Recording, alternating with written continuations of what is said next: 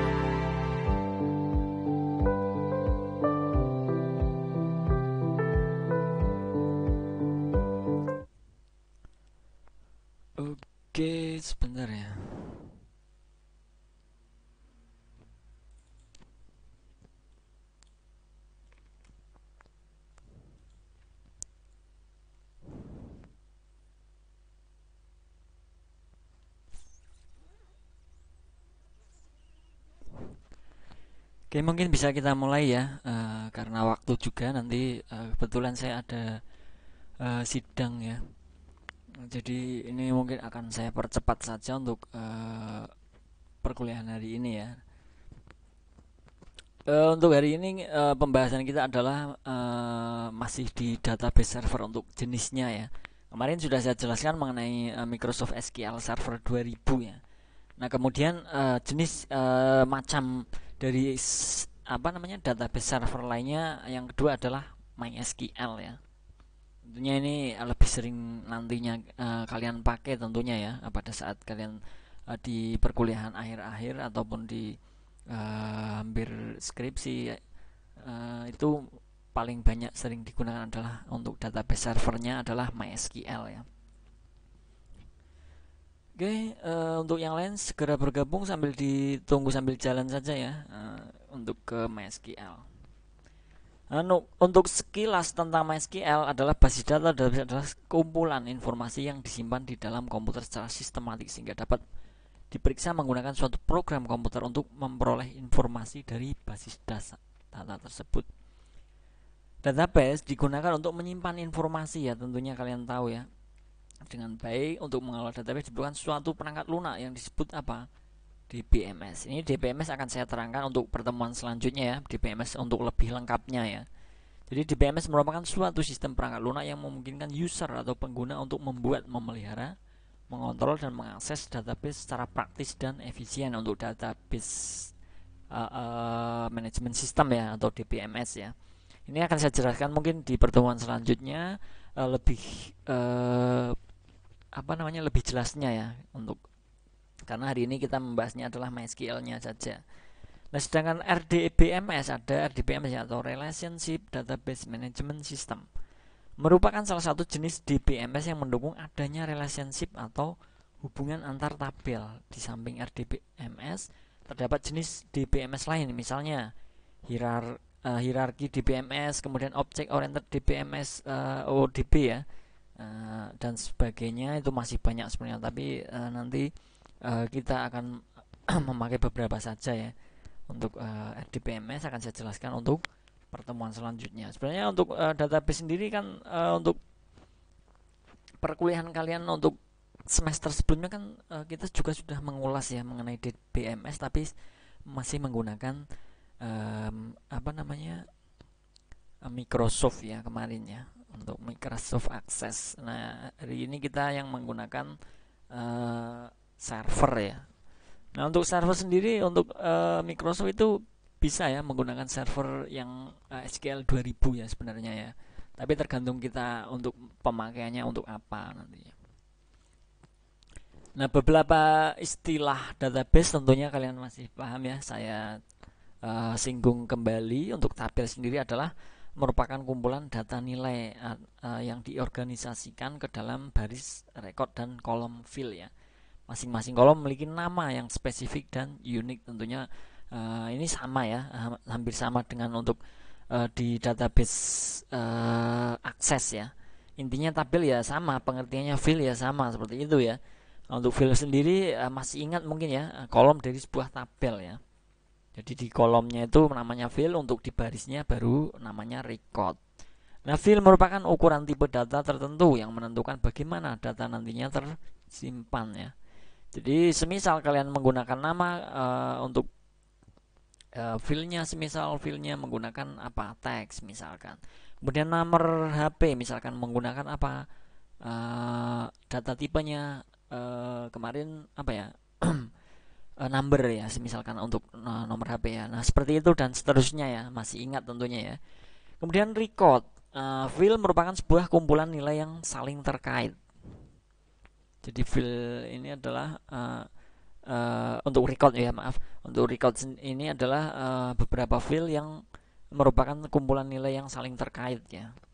Nah, beberapa file. Kemudian ada key key merupakan suatu file yang dapat dijadikan kunci dalam uh, operasi tabel ya sama uh, ada foreign key primary key kemarin juga pada saat kita uh, di perkuliahan untuk uh, database akses itu kan uh, kita menggunakan primary key ya jadi ada macamnya juga untuk foreign key juga ada dan lain-lainnya sama sebenarnya cuma untuk uh, bahasanya saja nah ini untuk kemudian ada SQL atau struktur query language merupakan suatu bahasa ya yang digunakan untuk mengakses database. Nah, SQL sering disebut juga sebagai query. Jadi bahasa query-nya untuk diakses juga sama ya. Ini saya uh, ulang kembali bahwa untuk uh, data istilah database itu sebenarnya sama.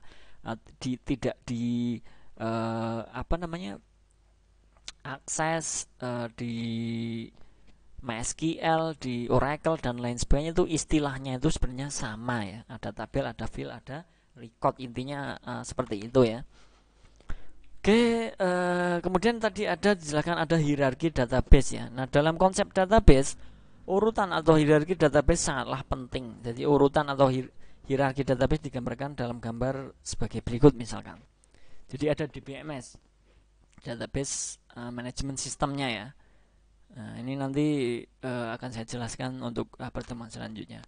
Kemudian ada database-nya, database database. Nanti database tersebut tentunya pasti ada tabel-tabel tertentu ya. Kemudian uh, untuk uh, setelah tabel digunakan kemudian uh, kita masukkan ya kita masukkan datanya. Uh, kita menggunakan fill dan record. Nah ini sama ya urutannya seperti itu. Intinya untuk hierarki sendiri adalah urutan ya urutan dari uh, penggambaran untuk database ya. Seperti itu ya. Nah kita baru ke MySQL. Sekilas tadi mengenai uh, database dulu sebelum kita ke MySQL tentunya kalian harus uh, tahu lah ya uh, database itu apa. Mungkin untuk flashback saja agar bisa menerima untuk uh, materi ini dengan mudah ya. MySQL adalah sebuah perangkat lunak sistem manajemen basis data SQL ya untuk bahasa Inggris database management system untuk Indonesianya ya. Atau DBMS yang multi thread multi user dengan sekitar 6 juta instalasi di dunia seluruh dunia ini memang uh, paling bisa dikatakan paling uh, laku ya. Kenapa? Karena ada versi uh, free-nya juga ya. Kebanyakan orang menggunakan free-nya. Walaupun ada yang komersial ya. Kemudian MySQL uh, AB membuat uh, MySQL tersebut uh, tersedia sebagai perangkat lunak gratis di bawah lisensi ya. GNU General Public Lisensi ya tetapi mereka juga menjual di bawah lisensi komersial untuk kasus-kasus di mana penggunanya tidak cocok dengan penggunaan penggunaan untuk GPL-nya atau General Public License-nya ya. Jadi memang seperti itu ya. Tapi orang lebih banyak apalagi untuk proyek-proyek yang untuk web-web yang sekiranya memang hanya web sebuah informasi dan uh, transaksi yang tidak menyimpan berbagai uh, data yang penting mungkin mereka sering menggunakan yang uh, free atau gratisan ya. Beda dengan perusahaan-perusahaan yang memang perusahaan besar dan uh, memerlukan keamanan lebih untuk uh, secure-nya ya tingkat secure-nya itu lebih mereka sering menggunakan untuk uh, database servernya itu yang menggunakan yang berbayar kasus-kasus di mana penggunaan tidak cocok dengan penggunaan DPL tidak seperti PHP atau Apache yang merupakan software yang dikembangkan oleh komunitas umum dan hak cipta oleh kode untuk kode sumber dimiliki oleh penulisnya masing-masing. Nah, MySQL memiliki dimiliki dan disponsori oleh sebuah perusahaan komersial Swedia yaitu MySQL AB ya. Memegang penuh hak cipta hampir atas semua kode sumbernya. Kedua orang Swedia dan satu orang Finlandia yang mendirikan MySQL adalah David Akmak Alan Larson dan Michael Mondiwidenius. Itu adalah uh, yang mendirikan yang menciptakan uh, untuk server MySQL ya. Tentunya kalian uh, nanti akan lebih tahu ya untuk MySQL itu uh, fungsinya apa. Uh, untuk nanti kalian membuat uh, web uh, yang dinamis ya. Untuk kemarin kan uh, kita uh, baru membuat web yang statis ya dengan uh, full HTML ya. Nantinya mungkin semester depan kalian akan mendapatkan semester depan atau depannya ya. Uh, ditunggu saja uh, nanti ada waktunya.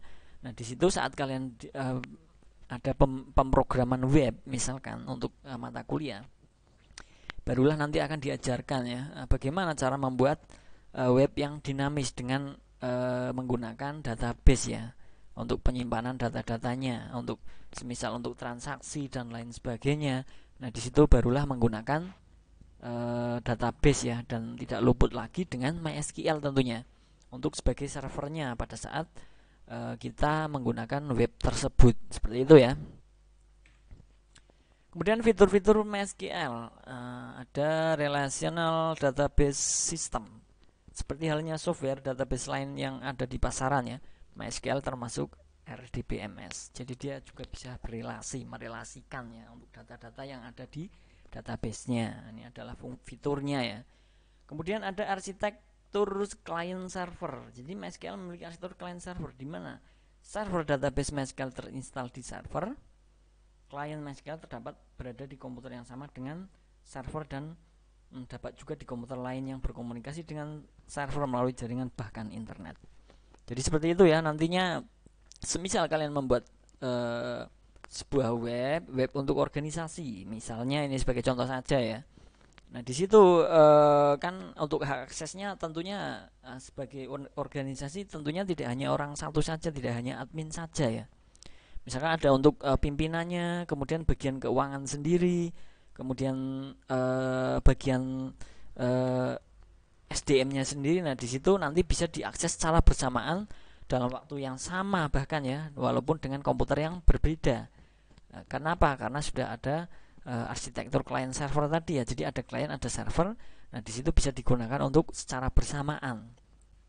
Uh, misalkan pimpinan sedang membuka untuk laporan kemudian untuk bagian keuangan sedang bertransaksi untuk uh, pembayaran dan lain sebagainya. Nah di situ bisa digunakan secara bersamaan tanpa mempengaruhi uh, salah satu dari mereka yang menggunakan uh, atau mengguna, uh, sedang menggunakan database yang di organisasi tersebut. Seperti itu ya paham ya? Harus paham ya. Kemudian mengenal perintah SQL standar.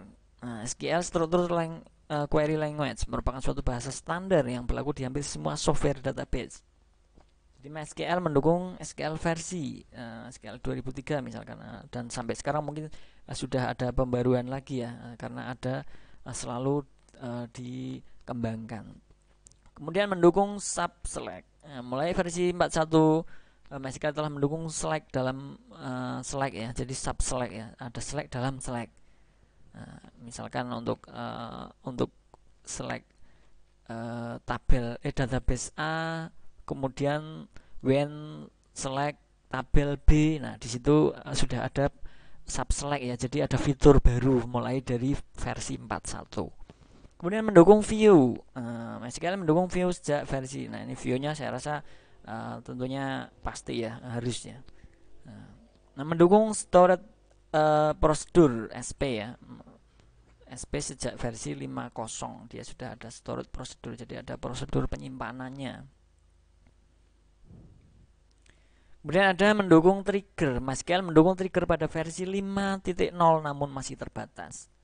Pengembangan MySQL berjanji akan meningkatkan kemampuannya trigger pada versi 5.1. Untuk uh, sampai saat ini kalian bisa googling ya untuk MySQL itu sampai uh, versinya sekarang berapa sih? Ya, silahkan untuk sebagai PR kalian ya untuk menambah uh, wawasan kalian, menambah pengetahuan kalian ya selain yang saya jelaskan. Kemudian mendukung replication untuk reply ya. Kemudian mendukung transaksi juga. Ada foreign key, tersedia fungsi GIS. Nah, ini uh, GIS juga ternyata uh, ada di MySQL, uh, MySQL ya ternyata ya. GIS kalian uh, belum dapat ya karena untuk yang dapat uh, saya rasa GIS itu yang dapat adalah uh, grafis ya. Free ya, bebas di-download di uh, di internet ya. Uh, seperti tadi yang saya katakan banyak uh, orang menggunakan ini karena ada versi uh, free-nya. Walaupun ada sebagian uh, mengeluarkan yang berbayar atau komersial. Stabil dan tangguh sudah teruji tentunya karena banyak orang menggunakan untuk uh, MySQL sebagai database server uh, dalam pembuatan web dan lain sebagainya. Kemudian fleksibel dengan berbagai pemrograman tentunya ya, tidak hanya untuk web saja, ini bisa digunakan untuk pemrograman lain ya, semisal apa? Android, kemudian ada VBNet, dan di situ bisa menggunakan uh, MySQL ya. Kemudian ada security yang baik. Uh, kenapa dibilang seperti itu? Karena memang sudah terbukti ya uh, sampai saat ini banyak orang menggunakan itu, tapi untuk datanya selalu aman. Walaupun memang kita harus uh, memberikan uh, keamanan tambahan mungkin ya di bagian administratornya kalau memang untuk lebih amannya dukungan dari banyak komunitas uh, ada pengembangannya ya ada developmentnya ada komunitasnya. Kemudian perkembangan software yang cukup tepat karena di setiap uh, zaman ke zaman memang dia uh, untuk pihak MySQL sendiri memang selalu pengem, uh, melakukan perubahan update perkembangan seperti itu ya. Itu adalah fitur-fitur dari MySQL. Kemudian untuk instalasinya bagi kalian yang belum uh, punya ya untuk uh, MySQL silahkan kalian download ya. Uh, download di sos MySQL-nya ya app mysql.com download. Jadi nanti kalian akan diarahkan di sana tinggal kalian untuk download ya. Uh, silahkan uh, kalian cari untuk versi terakhirnya untuk saat ini itu berapa barulah kalian download ya. Jadi pada dasarnya instalasi untuk setiap versi MySQL tidak jauh berbeda hampir sama ya Nah, semisal ada uh, versi baru kalian jangan bingung untuk uh, saya rasa uh, penginstalan uh, MySQL itu cukup mudah ya. Baru nanti tinggal setelah kalian download tinggal diinstal di uh, komputer kalian. Berbagai uh, MySQL client untuk administrasi server MySQL. Jadi uh, beberapa jenis ya bisa dikatakan jenis MySQL client ya untuk administrasi server. Uh, berikut adalah beberapa tool yang bisa digunakan dalam mempermudah administrasi server. Ini hanya untuk tambahan untuk mempermudah ya. Ini toolnya ya. Nah, yang pertama apa? Ada MySQL command line client. Jadi MySQL command line client merupakan tools default MySQL yang sudah disertakan dalam file instalasi MySQL. Di aplikasi ini dapat digunakan untuk melakukan koneksi MySQL melalui text-based mode. Nah, ini ternyata sudah default ya, dia sudah bawaan ada di uh, apa namanya di MySQL-nya ya. Kemudian ada MySQL Front, nah, merupakan front end MySQL berbasis Windows yang cukup banyak digunakan. Di MySQL Front uh, memiliki user interface yang cukup mudah digunakan ya, bahkan oleh user pemula. Pada awalnya MySQL Front merupakan uh, software yang free, namun mulai versi ketiga kata software ini menjadi software yang bersifat shareware dengan masa percobaan selama 30 hari. Jika Anda ingin mencoba software ini, cobalah MySQL Front versi dua setengah karena selain masih bebas untuk di download versi dua setengah cukup stabil sudah teruji sudah resmi ya meskipun menjadi beramatkan di sini bisa kalian uh, download misal mau menambahkan untuk fitur ya mysqlfront.de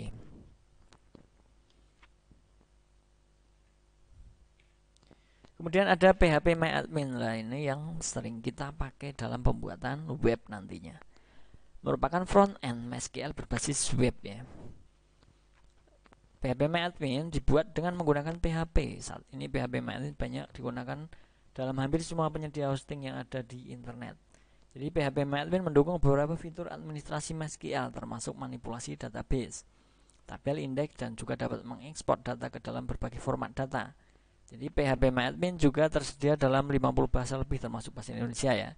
Bisa kalian download di sini untuk kalian yang belum uh, punya untuk softwarenya ya. Jadi untuk memang untuk PHP MyAdmin ini uh, nanti penggunanya lebih ke web ya, web yang P, yang sudah menggunakan PHP atau web dinamis ya. Mungkin kalian belum uh, mendapatkan untuk uh, pemrograman PHP ya. Jadi nanti sabar saja nanti akan dapat dan untuk sebagai uh, servernya nanti untuk uh, untuk penyimpanan atau database-nya untuk di web dinamis tersebut kalian pasti tentunya akan menggunakan PHP MyAdmin yang lebih yang saya rasa lebih mudah dan uh, familiar ya.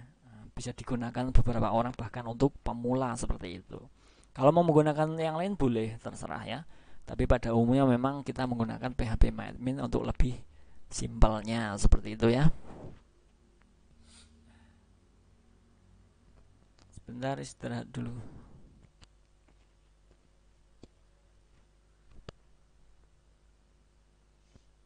Oke, kita lanjut ya. Nah, di sini tampilan halaman PHP Admin mungkin ada beberapa kalian yang sudah uh, menggunakan untuk uh, PHP Admin ya. Jadi nanti di sini kalian bisa membuat new ya, new database di sini misalkan. Nah, nanti akan diarahkan ya. Di sini ada semua nanti untuk uh, semisal kita akan membahas uh, terserah ya kalian uh, kiranya tidak apa-apa ya kalau kita membahas untuk MySQL dulu atau bagaimana karena kalian ini belum mendapatkan pemrograman web PHP ya atau nanti kita bahas yang lain juga boleh untuk uh, praktiknya ya setelah uh, mungkin setelah UTS nanti kita akan berikan uh, beberapa ya praktik untuk pembuatan database misalkan. Boleh seperti itu. Misalkan kalian mau menggunakan PHP MyAdmin ya boleh nanti. Kemudian ada SQL Yok uh, merupakan salah satu front end MySQL yang cukup populer saat ini dengan dukungan fitur yang cukup banyak dan lengkap. Jadi SQL Yok tersedia versi komersial dan community ya, ada ada yang free ya. Nah, ini bisa kalian download di sini. Uh, untuk uh, materi hari ini sudah saya share di Classroom ya, nanti bisa kalian download langsung setelah uh, perkuliahan selesai ya. Ada MySQL Administrator dan MySQL Query Browser Eh, merupakan tool administrasi database MySQL yang tersedia di situs resmi MySQL http www nah ini bisa kalian uh, semisal belum punya kalau sudah ya syukur ya uh, keduanya dapat download di alamat uh, seperti ini ya uh, beberapa fitur untuk MySQL Administrator antara lain ada administrasi user. Kemudian ada halaman monitoring server, optimasi optimatisasi MySQL ya. Kemudian informasi umum keadaan uh, servernya uh, apakah uh, ter apa namanya sedang ada ancaman atau tidak mungkin bisa di, ada informasinya ya di MySQL administrator ini. Berada status replication, ada cross platform. Berapa fitur MySQL query browser di sini ada tampilan dan menu yang mudah ya, user friendly ya. Nah, ini bisa lebih mudah dipahami untuk uh, awam orang bahkan orang pemula atau awam ya. Kemudian mendukung beberapa Windows hasil result preview sekaligus ya. Bisa digunakan beberapa di beberapa Windows ya. Tidak ada batasan. Kemudian kemudian dalam menulis query dengan visual tool. Manipulasi database tentunya pastinya untuk uh, query browser ya. Membuat dan manipulasi tabel. SQL statement debugging untuk debugging ada untuk pemberitahuannya misalkan terjadi kesalahan ya di dalam uh, bahas, uh, menggunakan bahasa SQL ya. Misalkan untuk perintah uh, insert itu uh, nanti misal salah ada debugnya ya. Kemudian untuk dasar-dasar MySQL ya bisa kita lihat uh, untuk merancang database itu merupakan hal yang pertama kali harus dilakukan sebelum membuat suatu aplikasi berbasis database. Nah, rancangan database yang baik akan menentukan seberapa baik sebuah aplikasi dibangun. Orang yang bertanggung jawab dalam perancangan database bisa disebut sebagai seorang sistem analisisnya. Jadi kalian semisal mau membuat sesuatu uh, web ataupun aplikasi yang berbasis database ya tentunya ya berarti kan dinamis ya. Nah, nah kalian uh, tentunya perlu rancangan ya uh, tabel apa saja yang akan kita buat sesuai dengan rancangan aplikasi atau webnya ya jadi uh, tabel tidak menentukan untuk ini ya jadi semisal untuk uh, sebuah web itu memang webnya rumit dan uh, banyak untuk uh, penyimpanannya di databasenya mungkin tabelnya akan semakin banyak seperti itu nah untuk yang uh, membuat itu atau kalian itu yang membuat e, rancangan database tersebut disebut sebagai sistem analisis ya seorang sistem analisis. Nah ini berikut contoh sederhana sebuah rancangan database pada sistem pemesanan barang atau ordering system ya. Jadi nanti kalian tentunya pasti membuat seperti ini dulu ya rancangannya. Digambarkan terlebih dahulu barulah nanti diimplementasikan ke dalam MySQL-nya atau di e, PHP MyAdmin-nya ya bisa kalian buat di sana. Dia ada relasi sama dengan uh, kemarin untuk apa namanya mata kuliah yang database akses kemarin ya itu sama ada relasi antara tabel 1 dan 2 misalkan di sini ada uh, di sini uh, ya ada relasinya ya intinya ya tipe-tipe tabel MySQL nah salah satu kelebihan dari MySQL adalah Anda dapat mendefinisikan tipe untuk tiap tabel. Jadi MySQL mendukung beberapa tipe tabel. Nah, tergantung konfigurasi saat proses instalasi MySQL saat kalian penginstalannya ya. Jadi kalian mungkin bisa kalian uh, centang semua ya kalau memang menginginkannya ya. Memiliki tipe tiga data utama yaitu ada MyISAM, InnoDB dan HAP. Nah, ini uh, MyISAM, InnoDB ini yang sering dipakai ya. Nah, tentunya kalian tiga ini saat instalasi kalian centang semua ya. Nah, jika kita tidak menyebutkan tipe tabel saat membuat tabel, maka tipe tabel otomatis akan dibuat sesuai konfigurasi default server MySQL. Hal ini ditentukan oleh variabel default tabel tipe di file konfigurasi MySQL-nya ya. Jadi ada untuk yang bersifat otomatis juga uh, sesuai dengan default yang ada di server MySQL-nya.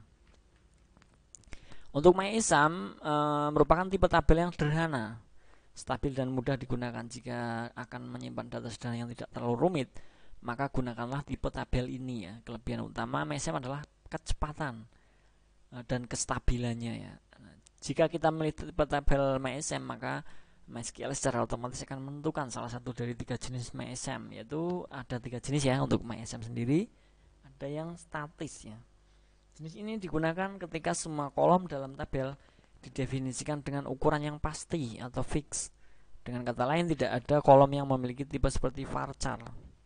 teks dan blub karena sifatnya fix nah, jadi jenis ini lebih cepat dan amat stabil jadi dia statis ya tidak bisa diisi uh, ya jadi memang informasi misalnya untuk uh, aplikasi ataupun uh, webnya itu dia lebih ke ini ya uh, tidak bisa dirubah hanya sebuah informasi kemudian ada dinamis uh, dinamik ya digunakan terdapat kolom yang bertipe yang dinamis ya seperti varchar dan lain-lain ya. Nah ini keuntungan utama dari jenis ini adalah ukuran yang dinamis. Uh, jadi sifatnya lebih efektif karena ukuran data file menyesuaikan isinya dari masing-masing kolom dari filenya ya. Jadi filenya seperti yang sudah saya ajarkan di aksesnya sama ya nanti di PHP admin dengan menggunakan MySQL juga sama ya. Jadi filenya uh, di, uh, diberikan untuk uh, jumlah atau angka filenya itu sesuai dengan kebutuhan kita. Dan MyISAM kompres. Yang kedua jenis uh, MyISAM statik dan dinamik dapat dikompresi menjadi satu jenis yaitu MyISAM compressed uh, dengan perintah MyISAM CHK ya. Tentunya hasilnya lebih kecil dari segi ukuran tabel yang dikompresi tidak dapat dikenakan operasi seperti insert, update dan delete ya. Nah, ini uh, filenya memang lebih sedikit kenapa? Karena dia sudah dikompres ya. Oke, yang berikutnya ada InnoDB. Tipe tabel InnoDB merupakan tipe tabel uh, MySQL yang mendukung proses transaksi. Jadi tipe ini memiliki beberapa keunggulan antara lain mendukung transaksi antar tabel, kemudian mendukung uh, row level logging, kemudian ada foreign case, constraint dan crash recovery. Itu adalah uh, fitur tiga fitur tadi ya, empat ya maaf ya masih ada satu web Tabel dengan tipe HEP tidak menyimpan datanya di hard disk tapi menyimpan di RAM atau memori. Nah, tipe tabel ini biasanya digunakan sebagai tabel sementara atau temporary. Secara otomatis akan dihapus hilang dari MySQL saat koneksi server diputus atau server MySQL dimatikan. Itu hanya sementara ya pada saat uh, bisa dikatakan uh, servernya putus ya dia akan hilang ya. Tipe-tipe tabel yang lain masih banyak ya di sini bisa, bisa kalian pelajari ya untuk uh, nanti pertemuan selanjutnya mungkin bisa kita bahas mengenai RDBMS dulu ya. Sini ada tipe tabel yang lain, ada DBD, archive dan CSV, NDB tabel, ada federated dan lain sebagainya. Oke, seperti itu saja mungkin saya rasa ya. Untuk pertemuan hari ini uh, silahkan kalau ada yang dipertanyakan. Kalau belum mungkin bisa saya akhiri ya uh, untuk pertemuan kali ini. Uh, terima kasih untuk teman-teman semua ya yang sudah hadir dalam perkuliahan ini. Uh, saya rasa su sudah pada hadir semua ya. Uh, semoga apa yang saya sampaikan bisa dipahami dan bisa dimengerti ya. Uh, bisa bermanfaat untuk kita semua tentunya dan untuk bahan materi uh, modulnya bisa kalian download di Classroom sekarang juga. Oke, karena tidak ada yang bertanya ya, saya akhiri uh, untuk pertemuan uh, hari ini. Wassalamualaikum warahmatullahi wabarakatuh. Uh, selamat beraktivitas. Terima kasih.